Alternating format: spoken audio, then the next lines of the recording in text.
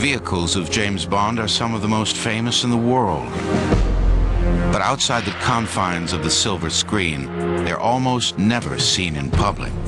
This is the Lotus Esprit from The Spy Who Loved Me. And the thing you'll notice is that it hasn't got any wheels. It's got fins instead. It was an amphibious car and it went underwater. It also had a periscope in the roof so that Bond could actually see his adversaries when he was under the water. This is a BMW 750 from the film Tomorrow Never Dies, and it is the ultimate Bond gadget car. It has everything conceivable that you could want on it, including this magnificent row of rockets coming out of the sunroof and a wonderful 20,000 volt defense system to deter any would-be car thief. Now, wouldn't we all like that on our cars? And it's also totally bulletproof. For our motorbike enthusiasts, we've got a motorbike in the collection here, a BMW jump bike. This was used in Tomorrow Never Dies in a very spectacular stunt in which Pierce Brosnan, handcuffed to his accomplice Wai Lin on the bike, actually had to jump from the top of one skyscraper to another with the whirring blades of a helicopter underneath. There's one of the original Aston Martin DB5s used in the Bond series. It is the epitome of an English gentleman's sports car. If you think of British sports cars, Aston Martin has to be the tops.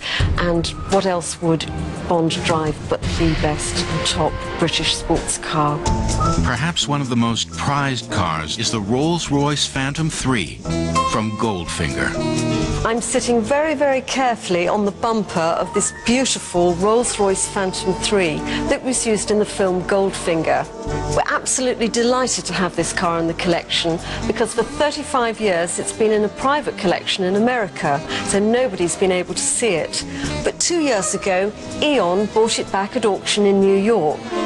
It is the epitome of an English car and very different to the other cars in the exhibition here because it's not a racing or a sporty car. It's just sheer elegance and luxury.